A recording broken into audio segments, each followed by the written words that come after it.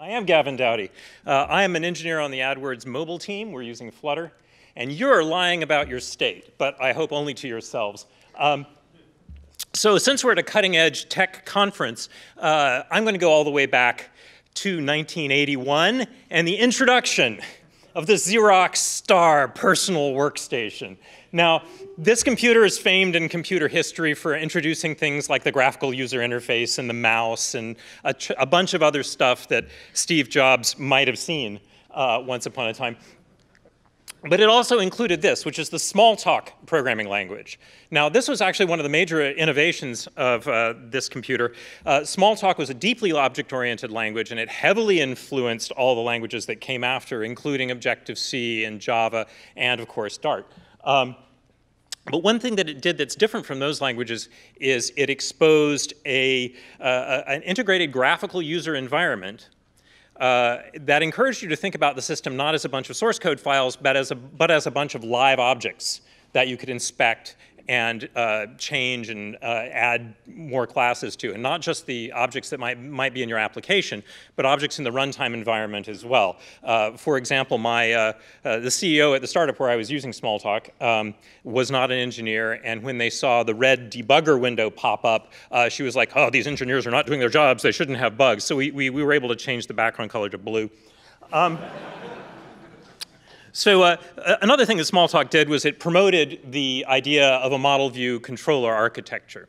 Uh, you know, and we're not going to go into this, but I'm, I'm, sure you guys have read a lot about it. Uh, and this was very innovative at the time. You could have things like your model encapsulating logic uh, as well as data that operate, uh, as well as the data that that logic operated on. And it gave you a nice separation of concerns.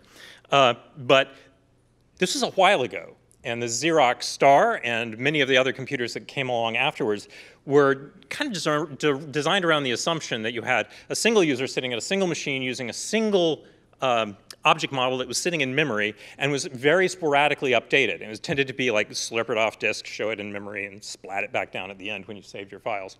Um, and this model is really old and not really relevant anymore. Uh, so the way that data works in your applications today is more like this, where you've got multiple users, you've got multiple sensors, you've got data being updated in real time, right? Um, or you have something like this, where you have, you might even have the same user using two devices, like, oh, I'm gonna do some stuff on my, on my phone, and no, I'm gonna jump over to my desktop and make some edits, and, you know, and five other people doing the same thing at the same time. Um, and the idea that I want you to take away with you is that of live data. And really, I think all data is live data. Right? All data is going to change over time. And it may not change on the schedule that you are thinking about right now. Um, but we have tools for this now. We also have this idea of functional reactive programming, where you can think of things less as I'm going to like call functions on an object and change that object. You can think of it more as information flowing through your system, and you're kind of like you're having the components of your system grab the data and look at it and produce different data that goes out the other end. Um, you know, you can think of this as data streaming around in your application. So Dart and Flutter make it really easy to do this. You've got a great Streams API the Dart Streams API. It's got it's full of rich operators. Um, if you want a, a, formalism for creating snapshots of data as it changes, you can use Redux. Brian Egan's got to talk about that tomorrow. There's a the next lightning talk also is partly about Redux.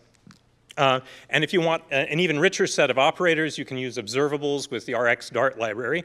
Uh, the author of that is here at the conference. Um, and if you, once you have a stream of data, you can use the Flutter Stream Builder widget to render that data uh, pretty straight, in a pretty straightforward way. I'm not going to go over all the details, but the main thing is you can pass it a stream, and the Stream Builder widget will take snapshots of the data coming out of that stream periodically, not you know, whenever the data changes, and pass it to your supplied build function so you can build a widget from it. So you, can, you don't have to like keep state inside of your stateful widget. You can just assume that you're being handed the next state that your widget needs to render.